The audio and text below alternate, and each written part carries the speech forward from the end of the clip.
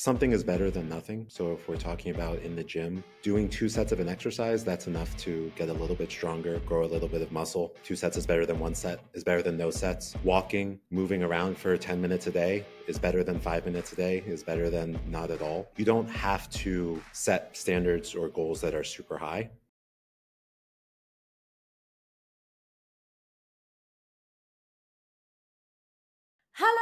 Welcome to Sweet Liberation. We are so excited about today's episode because we are joined by professors in sports and exercise science from Lehman College in New York, Alec Piñero and Adam Mohan. Welcome, welcome to the show today.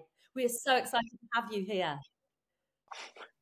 Cool. Thanks Thank for you. having us. It's great to Thank be here. you so much. Thank you so much. It's been such a um, a journey for us of discovery and also of meeting people from across the world. Really, in this this entire rabbit hole of well-being that we entered in sweet liberation starting with us taking sugar out of our lives and really being passionate about that and then branching out into so much in the world. And this is something that i'm sure you also are sharing with us in in the passion really to educate people across the world in what's going on with well-being exercise nutrition.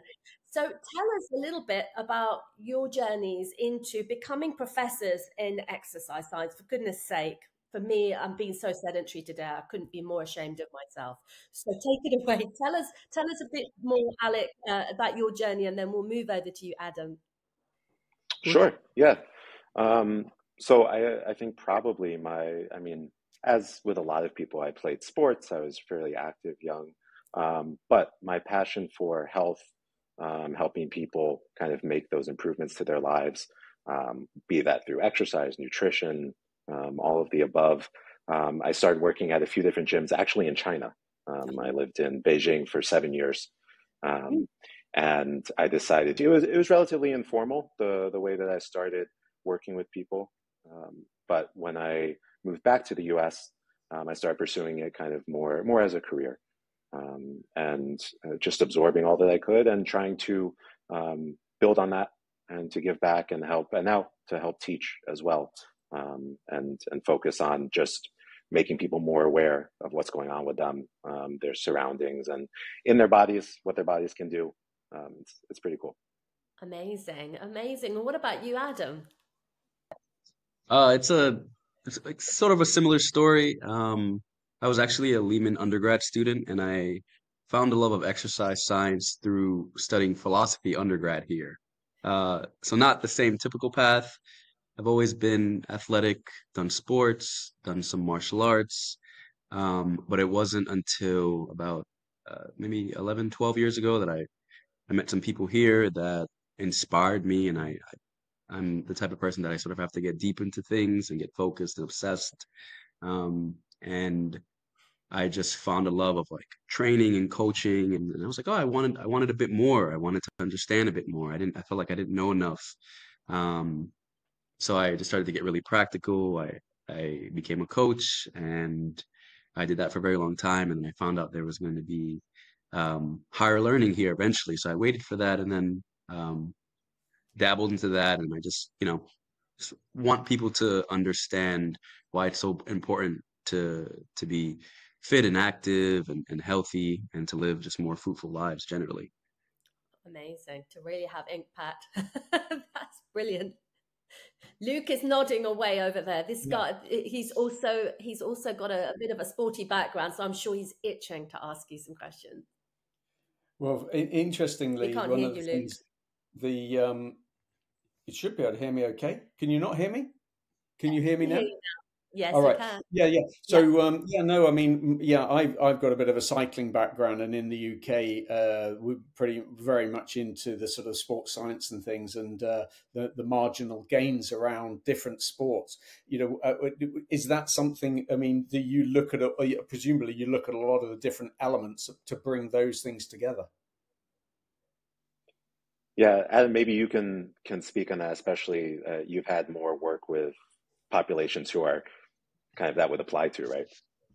Yeah, I, I think it Alec is being a bit humble. He's been a, a CrossFit coach and trainer for very long times, uh, especially in, in, in China as well. So that's something that I I think it'd be great for him to elaborate on. But I, in my own experience, I um, overall like when I started to to coach, um, uh, I, I, like to tell people that this is a very applied science, despite it being highly theoretical.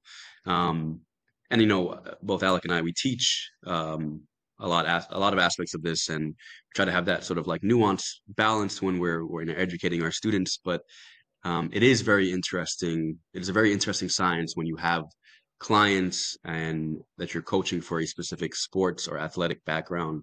Um, like I've coached uh, powerlifters, um, I've coached uh, quite a bit of fighters and uh, some athletes when it comes to just like basketball players, a few swimmers, um, and then trying to sort of incorporate what you've learned uh, via experience as well as like what you've learned via education or academia is a bit interesting when you're trying to prep an athlete for a competition or an event because um, they have specific goals when it comes to performance and things. So it is a bit fascinating and it, and, uh, it becomes a bit more visceral and real rather than educating students to do so and do the same thing uh, that we're doing out there in the field. Um, but I'm, I'm, sure Alec can also expand on like how well, it is uh, with CrossFit and CrossFit is just very fascinating overall. Wow. Um, yeah, I mean, I could definitely talk about. I, I just have to say, Luke. Um, anytime someone says that they're a cycler or a runner or a swimmer, I, I mean, my hat's off to you. Just being able to. I mean, I, I assume that means you're sitting on the bike for 10, 20, 40, 50 k kilometers at a time. Um, like that's amazing to me. I can't imagine doing that. Yeah. Well, it's a funny thing about cycling is that I always say it's one of the hardest sports because, you know, it's not like marathon running because if you get tired in a marathon, you fall over, right? You're actually sitting down and relatively comfortable. So the suffering in cycling goes on and on and on. Then you multiply that by three weeks if you're doing the Tour de France. So yeah, so for me, you know, me and my buddies, we might cycle. We've got a big um, gorge called the Cheddar Gorge where the cheese comes from, and we might cycle out there. Now that's hundred miles. Uh, as a you know, it takes us sort of five hours at twenty miles an hour. So that's so you've got to feed right on those sorts of cycle trips, you know, because you know you set off in the morning with your buddies, and you know it's quite a strenuous ride out, you know, to do that, and so you get in into a lot of the you know uh, you know everything every element of the sporting thing that you're doing the fueling you know the aerodynamics you know the, all the mechanical side of things. And in the sky team when they were doing a lot of they they put together a pretty competitive team back in the day and they were looking at the it was the aggregation of marginal gains that they called it. It was all the tiny little elements that when they were all added together made a big dramatic change. It might only have been 8% change, but that's a big difference, isn't it, over, as you guys know, over the competition.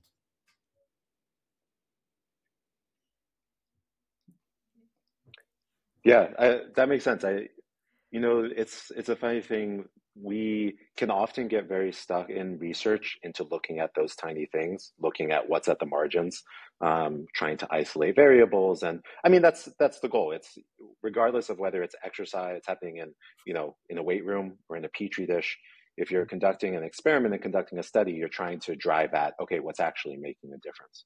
Um, and and so it's very tempting to stay kind of focused in that micro um, but like you said, once you zoom out and once you're able to actually apply it, um, I think what's a fun part of our jobs, uh, whether we're talking with students, general public, um, or or just each other, but figuring how these things can all be put together. And okay, yeah, we know all these little bits of information, but what does that mean when you apply it? Um, you know, if we're looking at movement efficiency for cycling, breathing efficiency, um, if you're looking at preparation, if you're looking at nutrition, hydration, like you said, all of these things you know they move the the needle a tick but mm. you put a bunch of ticks together uh, mm. and all of a sudden you've got that one two three eight ten percent and that's it's very cool Oh yeah. my goodness! I feel like I think I, I feel like I've walked into the locker room of the boys of the boys like changing room. I understand nothing about what's going on here. So I'm going to ask from the completely ignoramus point of view. Now, I like watching some sport. Um, we I, I I I love staying active. uh, mainly through I used to do some weight training in the old days. Uh, I need to start doing a bit more because at my age we need to, you know, keep our muscle muscles strong. I love dancing, but that's it. I'm not. I've never done any competitive sports. So, do you mind if I ask you some questions from a very, very basic point of view? Um, CrossFit. Now, I know that people talk about CrossFit and they talk about it. Um, I, somebody said to me, "You need to start because it becomes like a religion." I was like, "Really?" People get really mad and get really, really passionate about CrossFit. Tell us about, for most people that don't know about CrossFit, please tell us about it and what made you what what was it about that that got you into becoming a professor at, at a college i mean it's a big jump from loving a sport to to getting right into the science of it yeah, absolutely. Um, well, I, I, guess before before I say that, what what have you heard about CrossFit besides that it's people love it? It's really hard. But, okay. and I don't know very much more. That is all I know. Sure. Yeah, that's fine. Um, when I was in, so I started when I was in Beijing and I was in China, um, and at the time there were maybe two gyms in the whole country of 1.4 billion people. Um, there are a lot. It was a lot more popular in Europe and in North America, um, but it it was starting to grow. It was starting to pick up, and it was an interesting time where you had the there were the people who were competitive um, and wanted to compete. Um, CrossFit essentially it's a mix of all different kinds of movements, modalities. Um, it's a hodgepodge of things from swimming to running to weightlifting to gymnastics um, trying to get at uh, like when you say like oh is that person fit um, you know that can mean a lot of different things to a lot of different people. Crossfit um, was sort of trying to define that. Um, you know their tagline is finding the the fittest on earth. Um, so in all ways of that testing all different kinds of time domains. So you might have people run um, a half marathon and the same people and then and then go do a max effort lift. Um, so not the type of things that is generally being combined in most sports. You know, a lot of um, a lot of training for CrossFit will look similar to what professional athletes do for strength and conditioning. Um, but for CrossFit, that's that's the sport is the strength and conditioning part. It's just the training, um, and so it's a it's an interesting sort of almost gamification of that. Um, what I think is one of its benefits in addition to just kind of being interesting you know each class is something different um, every time you go in you're doing a maybe learning a new movement or testing yourself in a different way seeing how much you've improved um, seeing what you haven't improved at when you want to work on more um, one of the things that and this isn't just crossfit um, but i think crossfit um, largely popularized it is this idea of community um, and how important that is to keeping people coming back i mean that's what it's what most people are looking for. It's what most people need. It helps form those habits and those connections. Um, it keeps you accountable. So whether that's, I mean, things like a book club, a lot of people aren't going to read on their own, but if they know in, okay, in two weeks, I need to meet up with a group of people and talk about it, they're going to read the book. Same idea here. You know, if they, they know, oh, these people are going to be in class and they're going to ask me where I was if I wasn't there, all right, I'll go. Um, so I think that it's not just CrossFit that does that, but CrossFit does it particularly well. Um, and I, I really like that aspect of being able to introduce fitness and exercise and health um, to people from all different backgrounds, to dancers, to cyclists, to people who had never done anything before, yogis. Um, and people could come in and bring their strengths. You know, someone who, let's say, you're a dancer, um, so maybe your coordination and your flexibility is better than most other people's. You come in and you can do a lot of the movements that people who have been at CrossFit for years maybe not be able to do. That's that's pretty cool. Everyone comes in with their own strengths, um, and to to add that to the mix. Amazing. Amazing. Well, that's uh, yes. I think I think that's probably something I need to explore as I'm getting older because I think it's that agility and also I don't. Does it also combine like sprinting and like fast uh, actions like that? Because yeah, I, I for sure. I feel like that's what my body's more made for. So, um, is it combining things like almost from the hunter gatherer times? It seems uh, in that kind of combination of of sedentary and then expulsive movement. Is that something that's part of CrossFit as well? Yeah, there are lots of movements. to be fair, I, I, think some of it is is marketing for sure.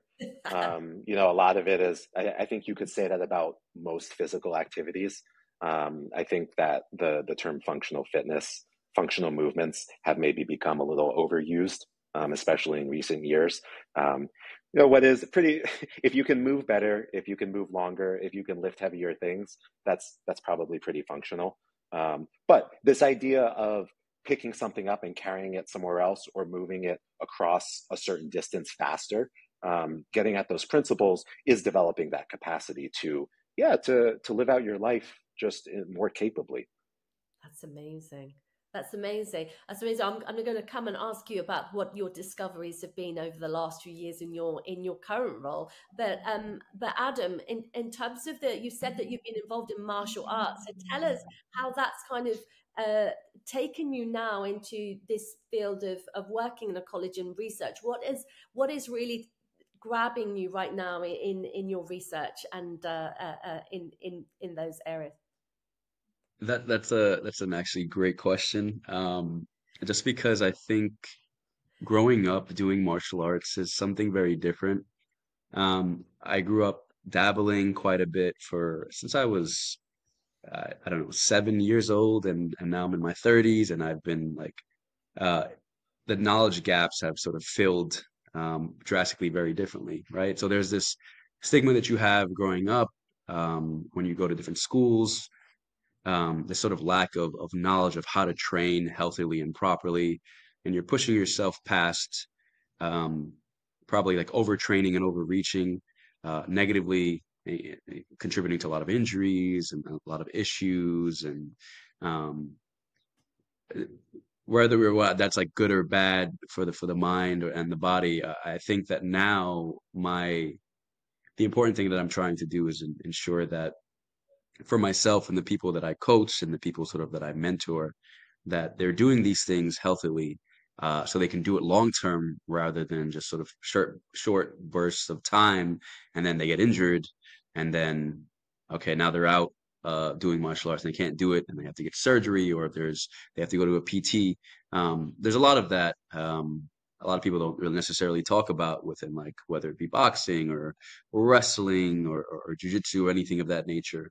Um, and again, you see it on uh, in a lot of sports uh, that are televised, uh, whether it be like UFC or or uh, boxing matches. Um, right, training smartly um, and and sort of guiding your your training like parameters and and with uh, the educational academic aspect is just over always typically a, a better thing, right? To make sure that you're training long term.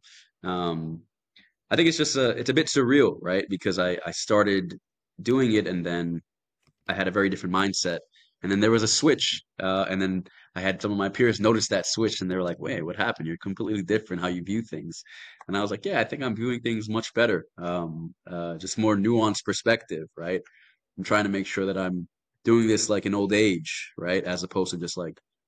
Uh, not around just like limping with arthritis constantly, right? Or just like I can't even continue to do it. Um, but I, I, think that's just a bit how my perspective has changed. I would argue for the better. I'm not quite sure if everyone else will would argue the same thing, but well, well, can can I? Uh, yeah. Oh, sorry, Please I do. wanted to ask. Um, just it's a good, nice opportunity for me. Adam and I work very closely together. Um, we see each other all the time. We talk all the time. So it's rare that um, we get uh, get a chance to interview him. Um, but I'm just curious from and from your perspective, um, since doing the research here, um, all the studies that you've been involved with, has has that changed your mind on anything um, that you thought about before? Whereas when you kind of peek behind the curtain, um, or just just being involved in in helping to produce this information and discover these things, um, is there anything different? I think that is a great question. Um, one immediate thought when you just asked that, I think, is that I want to. This is just a, a quick little joke. I, Alec and I talk all, again all the time, but that I probably want to box less and do some some other form of thing, just because I just don't want. I need my mind for for the work that I do. So getting any sort of like head trauma or concussions or getting hit in the head or the face is not, is not something that's conducive to any any uh continuing my career forward. But um, I think that's a great question when it comes to just like training smartly when it comes to fatigue. Um, don't want to get like nitty gritty, but like fatigue is something that we always, it's just this weird concept that we try to sort of understand uh, in training and in research. Still not fully understood. Not a lot of research that needs to be done, but pushing yourself past certain physiological levels is probably not the best. I used to think that, you know, um, my perception, similar, I, I can imagine for CrossFit, right? You're training pretty intensely. And in order to make sure that you're not getting injured or increasing the potentiality for injury, you have to sort of manage that fatigue and that that stimuli, right? Uh, so it's interesting that two separate physical activities that Alec and I do are both dabbled in the idea of sort of managing that fatigue and trying to train smartly, right? Not pushing yourself past that that point of no return where you're like, oh man, this was a hard training session and I keep doing this, I may I may get injured or um, I may not be able to recover properly for the next training session. So I think my mindset when it comes to just like, well, today I just don't feel like training is hard. It's, you know what I mean? It's just probably best, uh, best for my like my mental state or, or, or just for my overall body that's pretty beat up, right? And I'm sure, Alec, to, to turn that question back to you, right? I I've done CrossFit maybe like three times, right? So not as much as as you have. How has your perception drastically changed from pre pre research and now current eh, during and post research uh in terms of crossfit? Yeah. Um that's a good question. I i don't know that it's changed as much um or or that it's changed that much. I think what is nice um you know, one of the things that we find out, so our, our lab, the Applied Muscle Development Lab at Lehman, um, most of our research focus is on muscle strength, uh, muscle growth, things like that. Lots of, lots of muscle, um, as you can tell from the name. Um, what we focus on, um, because there are only, well, kind of only so many ways that muscles can grow. Um, so you would think, but somehow, um, you know, every year we end up finding three or four other ways to study it. Um, the upshot of that is that we learned that there are many, many different ways to get the results that you want to get. Um, and so I think that, you know, being, uh, it, it, can be tempting to find something that works and stick to that. And then you say, you know, this is, this is the only thing that's going to get me to point B from point A. Um, but there are many different ways to get there. They might not all work for all people. Um, and so I think, you know, if I was going to relate it to CrossFit, CrossFit is great. Um, I think it has many benefits. I think it works for a lot of people. There are lots of things I think that do. Um, and so being able to to not be dogmatic um, and to really just figure out where where you should go, what's going to work for you, I think that that um, is probably one of the biggest takeaways. Oh my goodness! Uh, may I in, in, interject if that if possible? I had a an interesting aspect that you brought up as well. Um, like why it works for people is the community aspect, right? So in where we're from, just in New York, we've noticed an, an uptick in like um, run clubs, right? I'm not it, I'm not sure if you guys have also noticed that, but run clubs are now a thing, yes. uh, and there's just so many of them, and I think that it's it's a great thing just because it's working for a lot of people, right? Physical activity is up in, in the inner city and the boroughs, which is a great thing, right? Because they haven't always been the highest as they should be. So a lot of people, just because of that community aspect, similarly to CrossFit, right? They have that support for their peers, pushing them to run at least twice a week, right? To run marathons, to uh, just go for a jog, to walk the local area. And I think not everything to that point uh, as Alec sort of allude, alluded to, is that different things work for different people, right? And then one takeaway I would say is that like you need to sort of find what works for you. Um, and I think we sort of have certain standards for things, obviously, like fitness standards and levels and normative values that we try to push on people. But again, if running twice a week works for you to increase your physical activity, then that's just overall, I think, a great thing, or rather, CrossFit or martial arts for that matter. Just wanted to throw that in there. Amazing, amazing. My, my son is say... a boxer.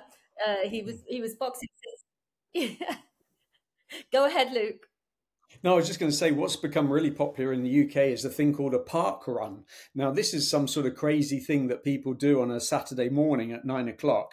And there's like hundreds of people and they descend on a local park and they all do a park run. But I think you're right. That community thing of just showing up and doing the sort of a jog around the park with 500 other people, I mean, there's no real room to run because there's just so many people. You know, it's like the start of a marathon or something that you see, you know, in New York or whatever. But um, yeah, so I mean, is, is the preparation for the people that you're coaching quite different than if they're doing martial arts or uh, to the CrossFit? Are you preparing people quite differently because they're quite different activities?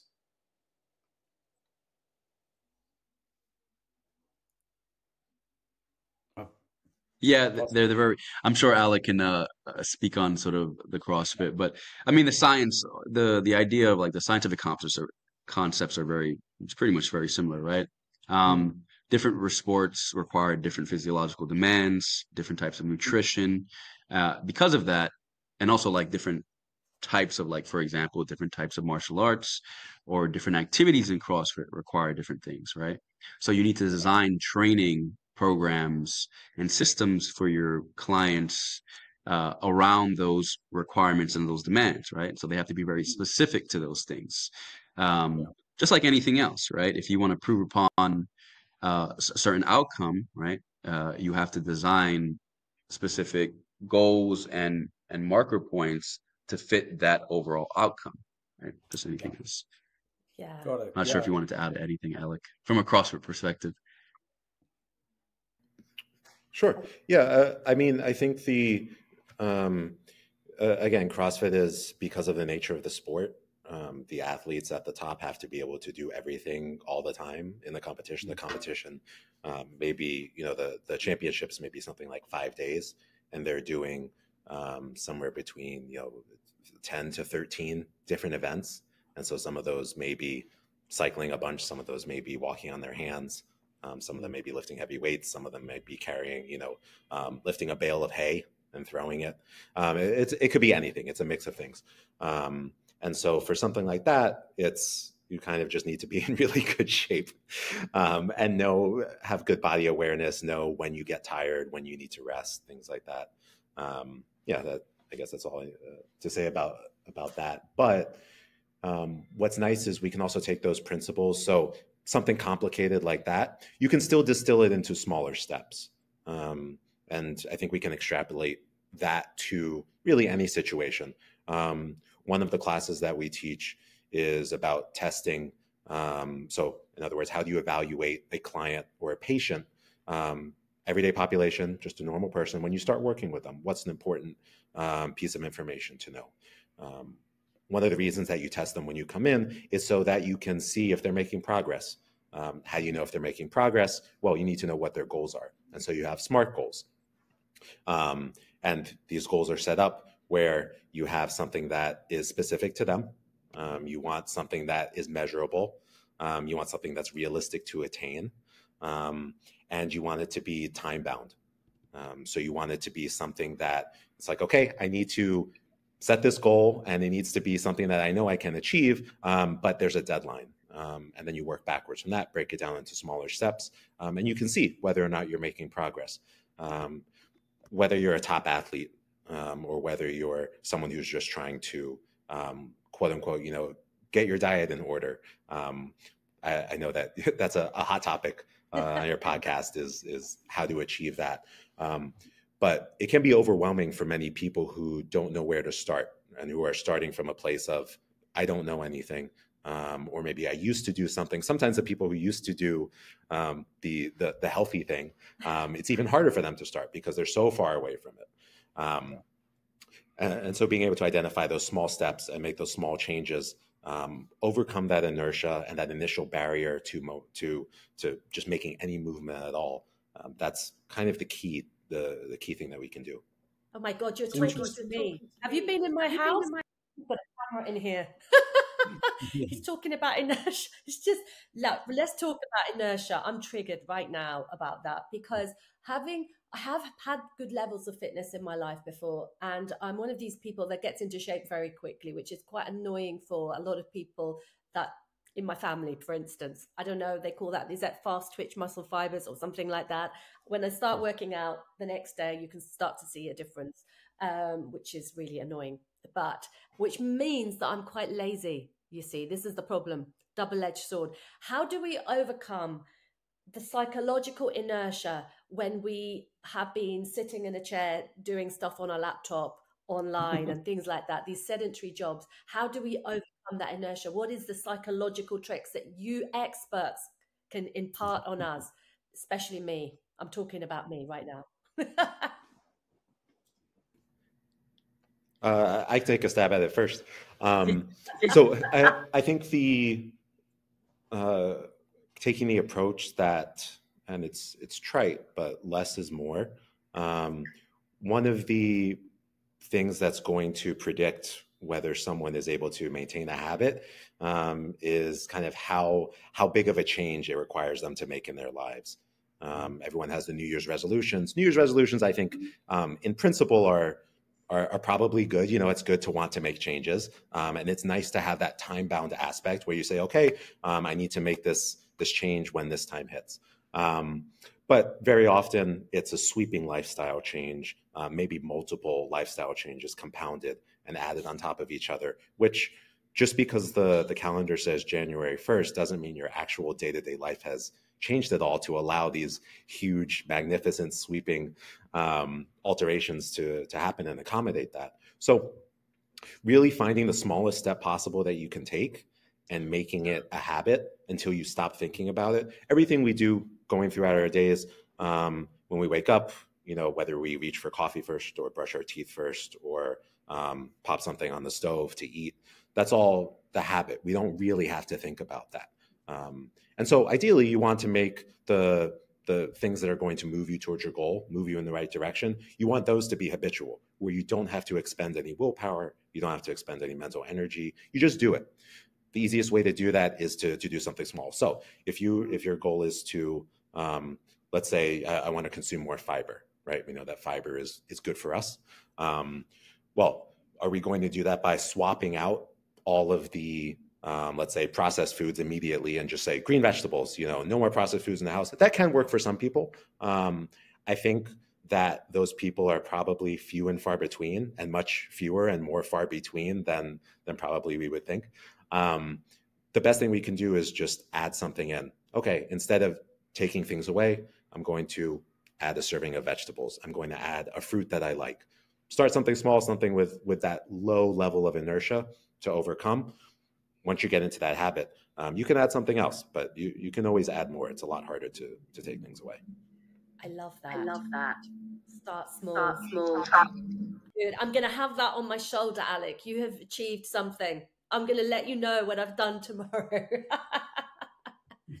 that is brilliant. That is brilliant, and I know that's what Luke's been telling. I know Luke, you've been telling me for ages, but I do need to start moving a little bit more and getting myself more active. and he says, I think, uh, if I may interject as well, like um, just to sort of add on to what Alec said, I think an interesting thing is like what we also teach our students is sort of creating like a profile, right? So when we when we have like a we tell our students like okay when you have an athlete or a client, you kind of have to create like a realistic profile of the f- certain markers in their life of fitness and nutrition that they sort of have to have a real conversation and assess, right? So, how is their physical activity level? Well, it's not the best, but it could be better, right? Like, what's their relationship with food? Like, how much, what type of food are they consuming, right? What small changes, like marginal gains, uh, that sort of Alec was uh, sort of alluding to and talking about, right? How can we make those small changes, right?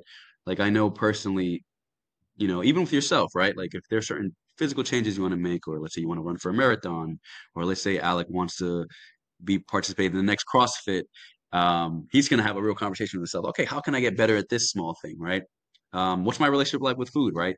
Should I buy candy and leave it in the house? No, because I'm probably going to eat it because I love candy, right? I probably shouldn't do that, right? Or um, instead of just sitting down all day, maybe I should get a standing desk, right? Trying to have that real conversation of encouraging certain things those little small minutia sort of things that can add up and compound over a period of time to improve upon like someone's overall well-being um, is just sort of something that we you know we try to communicate with people right whatever it's coaching within research uh, to our students, um, I think that's probably the best thing you can do, right? Having that real conversation with yourself, like, man, I'm not good at this.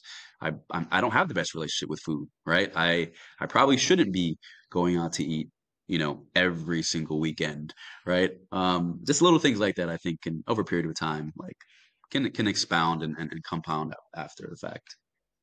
Yeah, I'm loving that.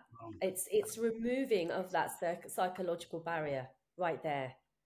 It's this is this is this is the place where all all success or failures happen. It's just right there in front of you, and uh, and it's and it's brilliant that that just disappears all barriers by saying those those two pieces of advice have been gold. Been gold. I, I will. Um, I just want to add one thing, if that's okay. Yes. Um, yes on top of so because you mentioned success or, fa- or failure you know that the barriers that are right there i think it's also important um, for ourselves for anyone we're working with talking with um, success or failure isn't determined by just one thing in terms of you know one failure doesn't mean that we have failed um, so if you've made that small change and you one day you don't eat that vegetable that doesn't mean that oh uh, I'm off now and I can't do anything to come back for it.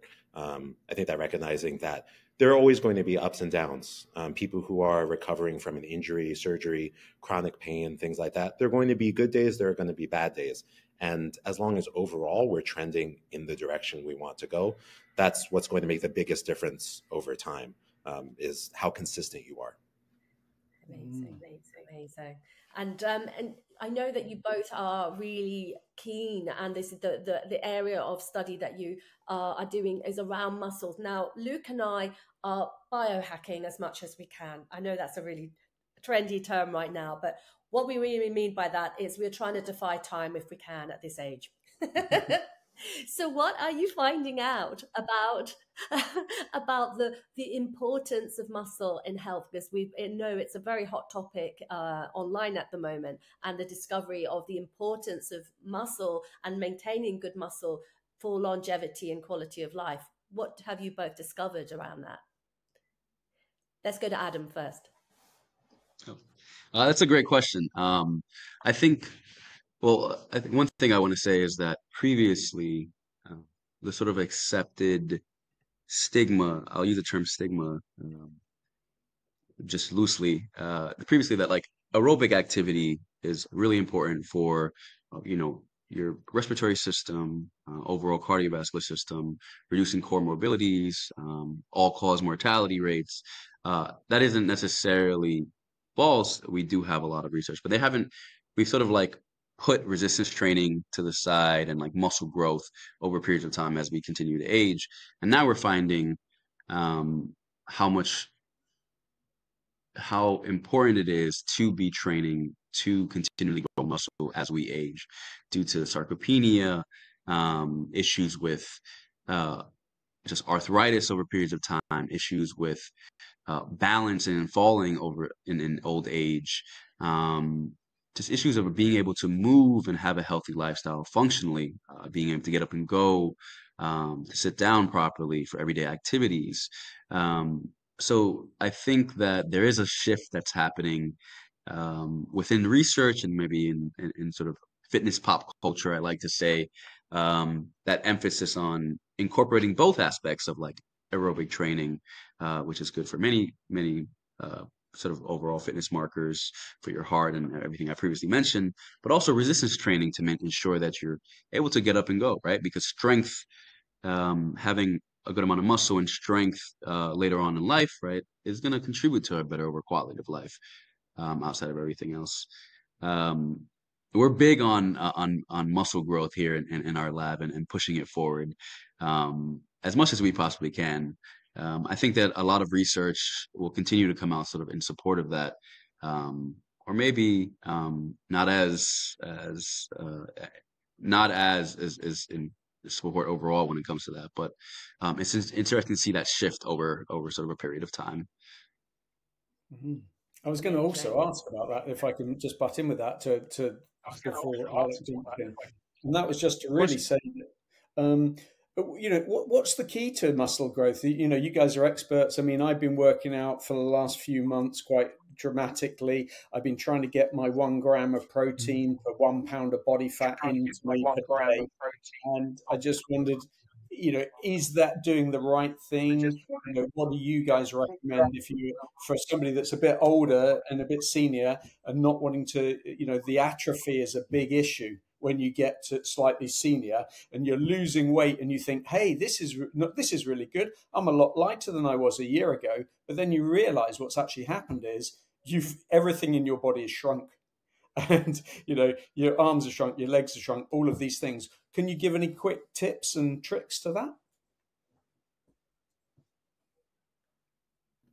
yeah um, i mean first of all it sounds like you're uh, already doing a lot of the right things i mean you're very active you're you're lifting weights um, you know doing things that physically will stimulate muscle growth another thing that of course um, as everyone gets older that we have to be aware of is the, things like osteoporosis. So weight bearing activities are very important. Um, mm. cardio activities that not only um, so not only like cycling but also weight bearing. So where you're where you're walking, maybe hiking, things like that. Depending, I guess you don't live in Wales, but I, I feel like Wales would probably lend itself to hiking more. Um, so maybe not below here. Um, but uh, so the the physical activity to to make sure that your bones are as dense and as healthy as they can be. Um, the resistance training, and then, as you said, um, protein consumption. Um, as we get older, it's harder and harder for our bodies to stimulate muscle growth and use the protein that we consume.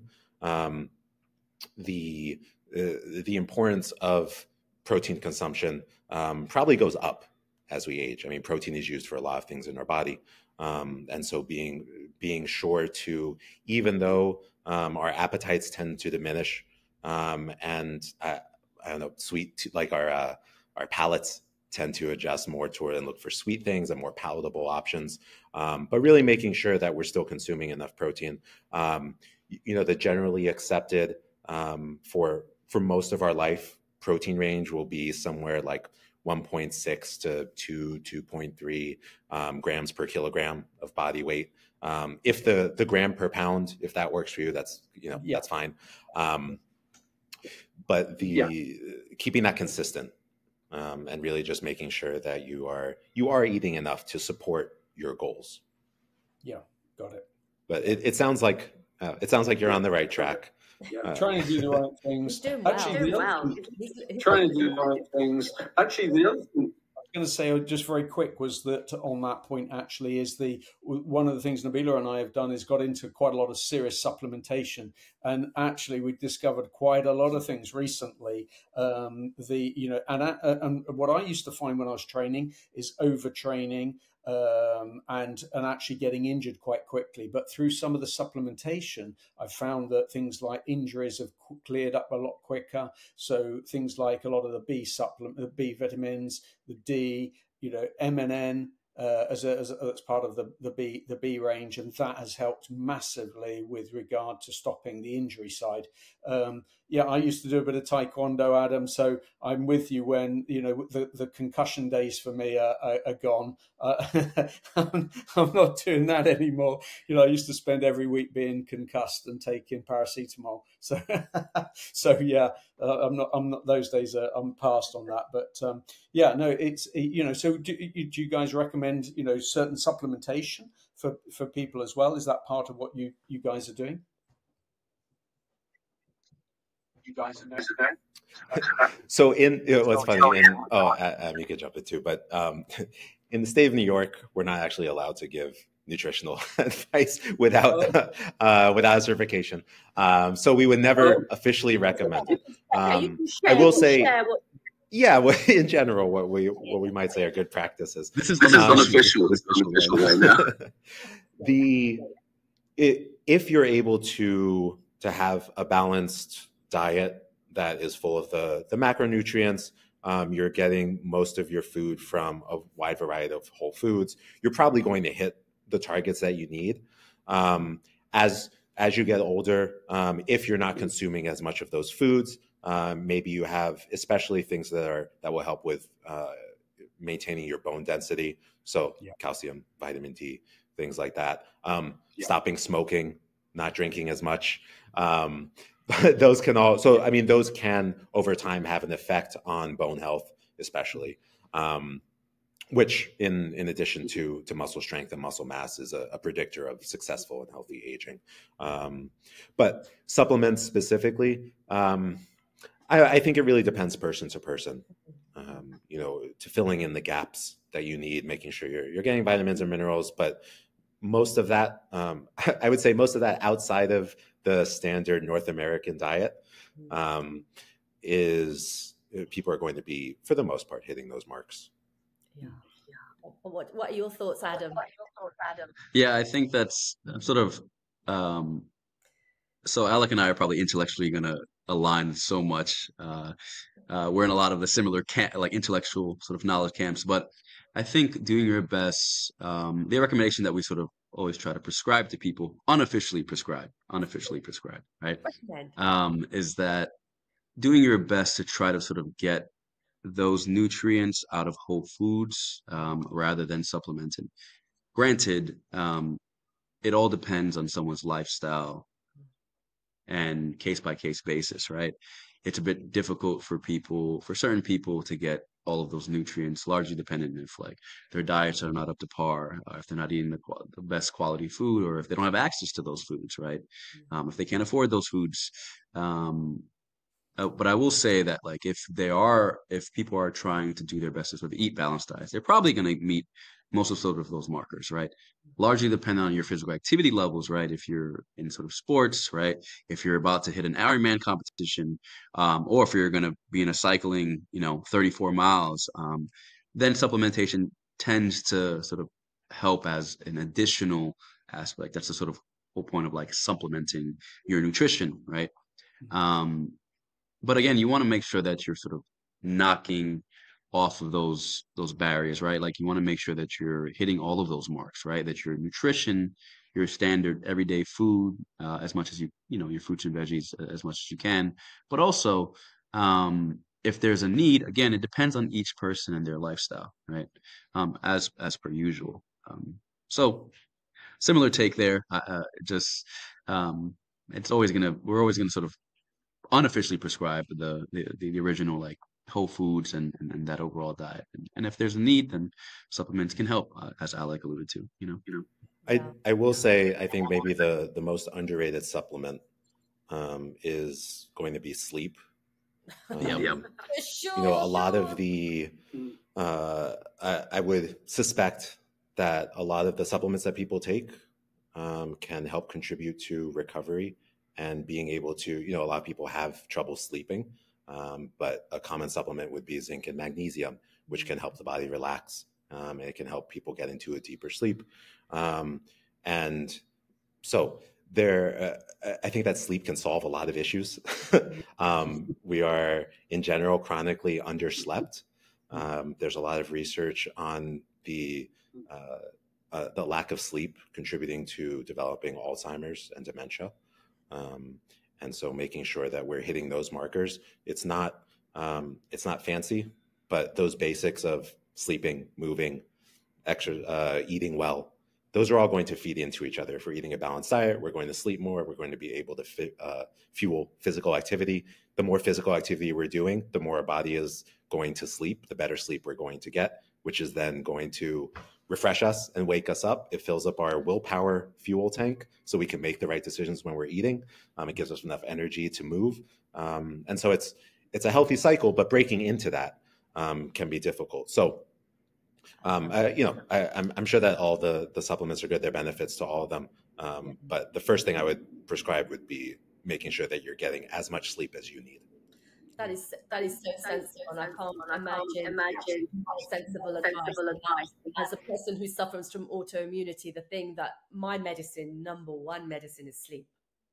I need yeah. if, if my body's saying you need to shut down, there's fatigue going on. I just I just shut the door, I close the door, you know, and I sleep and I feel repaired. And I think that that is actually one of the best pieces of advice I've, we've heard of anybody that's been on the show. So that's amazing. That's amazing. And such simple things that people avoid and they take the expensive route with actually something as simple as that. Where do you sit on the issue of hydration? Because this is a little bit of a, a hot topic, a hot topic for me. I'm a, also come from a healthcare background and we don't, we don't also prescribe um, things, you know, we, we can say what we're sharing our, our experiences or, you know, uh, anecdotal evidence, for instance. But uh, but yeah, so on on the issue of hydration, um, where do you sit, and how much do you would you recommend that people are drinking in the U, in the UK for healthcare professionals? We're saying one and a half to two liters a day, and then I'm hearing stories of people drinking four liters and huge huge amounts of water. What do you think about hydration? What does your research say around that?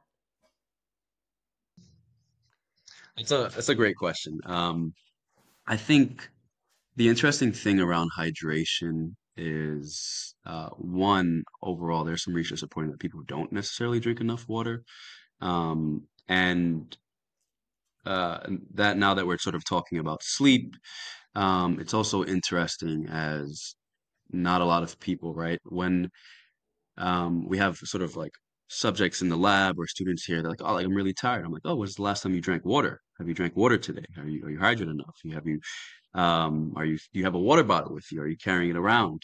Um, and they'll say like, "Oh, I only slept four hours last night. I didn't drink any water since you know a day ago." And I'm like, "Oh, that's kind of interesting. Maybe those things, certain like markers or indications that you could you should probably do those things and you'd feel a little bit less fatigued or tired overall."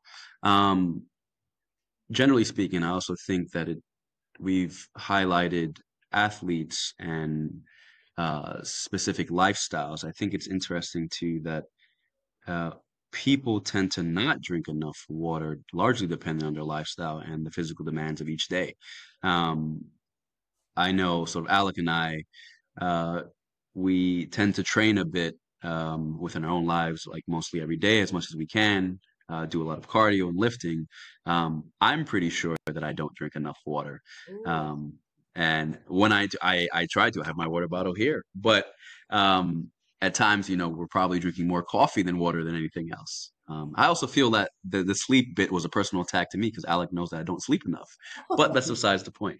I wanted to throw that out there. Um, I'll try my best, Alec. I'm doing I'm doing better. I'm doing better overall. Um, I think that hydration, right, comes in many different forms, right? Water is uh, obviously one of the best things we're sort of been given. Um, outside of that, it largely depends on, um, you know, your own training. Some people, you know, will do electrolytes or try to get more sodium and potassium in their diets, right? Uh, I think the interesting question that I have for you guys is: Are you drinking enough water? Um, are you hydrating enough in your day? Um, Probably not. Too much tea. Oh. A lot of tea tea. English tea, big mugs of tea, about too many of them to count. But uh, but need to drink more water. You just I'm seeing the little water bottle over there, and I'm like, I need to have some water for sure. For sure. Um, there's there's definitely uh, you know if I, I think we're talk we could talk about two different populations. So um, also a very active population um, I'm sure Luke, when you go on um, a hundred mile bike ride, mm-hmm. um, you know, hydration is a much bigger factor. Um, you're going to notice if you're underhydrated a lot more fast than someone who's sitting down and working or just walking mm-hmm. around. You know, we say that um, in, in, general, the the commonly accepted metric would be that around two percent of body weight lost through sweat, you're going to start seeing um, performance decrements. Um, you start going to to be feeling tired. Um, the I don't know that there's a conclusive finding. Um, I think in general, like for going through our everyday lives, if you're thirsty, drink water. like you don't need to. You you probably don't need to uh, prophylactically hydrate, um, unless you know where you're you're not going to be able to to get water for a long time.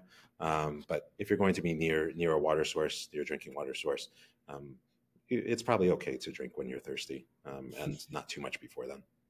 What is your t- you guys use? What's your take on? What is your t- you guys use? What's your take on? Take on hydrogen water. You know, with the, uh, the these new water bottles with the hydrogen in. Do Do I? I don't know. I don't have a take. I don't, I don't know if you. Yeah, Yeah, I'm, I'm not, I'm not- not sure if I, I'm familiar with them actually. No. Okay. No, uh, I think Luke, I think Luke, when you're in real academia, actually proper hardcore science, uh, and and come from a scientific background, working in a college or a university, probably the pop science isn't necessarily. There's a link- I mean, there's a link. maybe I don't know if you're referring to like like alkaline water. I know that that's that's very popular. Um, there, there's I think conflicting theories about whether all trying to alter your body's pH is good or bad. Um, I, I, for the for most people, most times, just just regular water is probably fine. You don't need to spend, um, you know, five bucks on Yeah. on a bottle of water unless you want to. Unless you know, Yeah. if that's what's going to make you drink it, it what's going to feels like a treat to yourself. Uh, maybe there's something to be said for that. uh, In all honesty. Oh, brilliant. Thank you so much. Well, I just wanted to close our discussion, unless Luke's got any other questions. Luke, any burning question you wanted to to um, I think well, I think it's amazing. I mean, the one thing I would be really interested in doing reading is if there's any papers or anything that's come, you know, in with with, with you guys, if you've done something or been working on something, particularly as I say, the atrophy for me because I'm like 60 next year, and I'm thinking I can't start losing any muscle. I've got to be building muscle. So if there's any, you know, anything that you've got that's like you know research or papers and saying, you know, like we discussed about the protein and how much actual uh, lifting you need to do to actually create those things. So the science around that, I'd be really interested to read up on. Yeah, Yeah, we would, we would we would love we to would share love to share research with our with our audience audience for for that.